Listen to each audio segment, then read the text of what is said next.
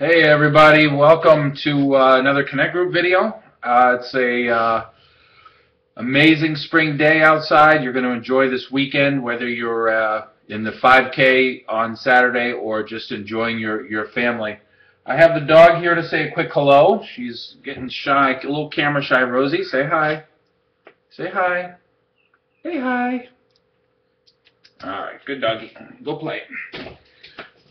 We um, we left off on Sunday with uh, a pretty sobering topic of uh, forgiving and forgetting, with the emphasis on forgetting. And uh, just to refresh us all, we asked the question: Does God actually forget our our sins? And the conclusion was no, not in the way that a human forgets where uh, our car keys are or forgets to feed the dog, but uh, God rather willingly does not recall our sins.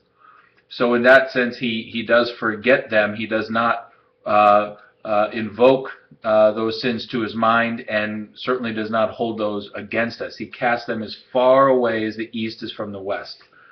Um, the second question was a little more challenging and had three parts to it, um, which uh, should provide some uh, lively discussion. Uh, the first was really regarding vengeance.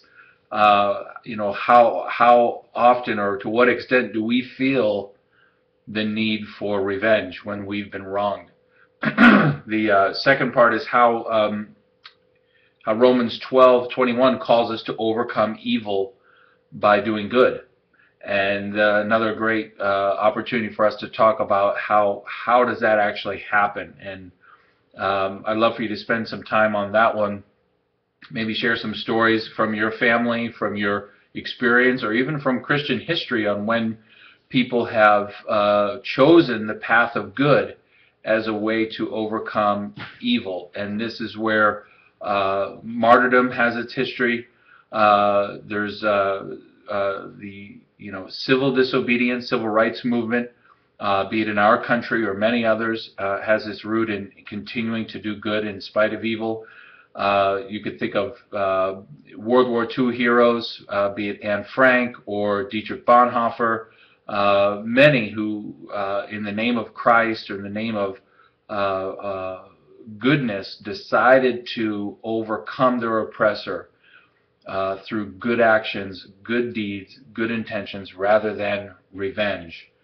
Um, and then the last uh, point that was made was from 2 Corinthians 5:18. It's the, the kind of the kind of the big goal, the big thing that God has out there as a target for us all to shoot for, and that's not just to forgive people of their trespass as we're forgiven, but go beyond and reconcile the relationship, bring back together through the ministry of reconciliation.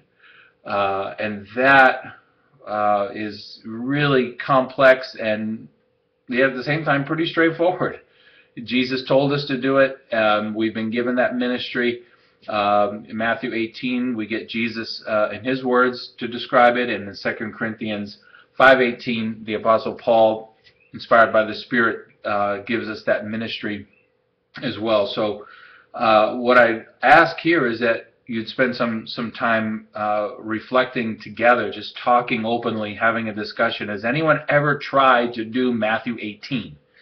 And read that, please, um, together. And this particular reference is Matthew 18, uh, and it begins in verse 15 all the way through verse 20.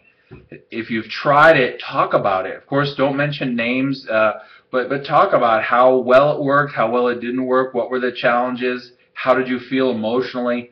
Uh, if two or three people share that, we start to get the sense of, of, of how much more we need to pray uh, for the ministry of reconciliation to become uh, part of, of our, our normal life.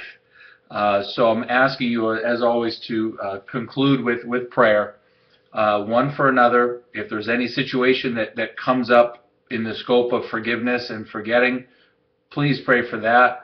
Uh, if there's another need that's paramount, even above this, you know, a need for healing or direction or guidance, pray one for another. it's one of our highest orders uh, in the Connect group. But just to refresh us all, part of our Christ-centered community connection vision is to uh, come together in these smaller groups and um, follow the model, the pattern, the, the way of life described in the early church. Acts chapter 2, verse 42, the disciples were devoted to the apostles' teaching, so that's part of what's happening here. Some teaching and opening up the Word of God. They were devoted to uh, fellowship, that's just being together uh, around the table, eating, uh, sharing life. They were devoted to prayer, and that's what I'm asking you to close your connect group with, and also to the breaking of bread, which you know it's the literal meal and the eating together, and it's also a reference to the breaking of bread when Jesus blessed it. It's part of our worship and our communion with God. It's that being together in His presence. Uh, so we ask that uh, you know you engage in prayer, not just as a oh let's pray God will bless this and help us, but as a means of being in His presence. Ask Jesus to come in and sit with you in your group and uh, pour in what's needed for the ministry of reconciliation so that we can be forgiving people, we can be forgetting people, uh, and ultimately be uh, reconciling people. So God loves you in uh, amazing ways. Have a great time. We're praying for you, and we're thrilled that you're gathering tonight wherever you are. Enjoy and be blessed. Enjoy uh, the amazing spring weather uh, finally arrived. Have a great weekend.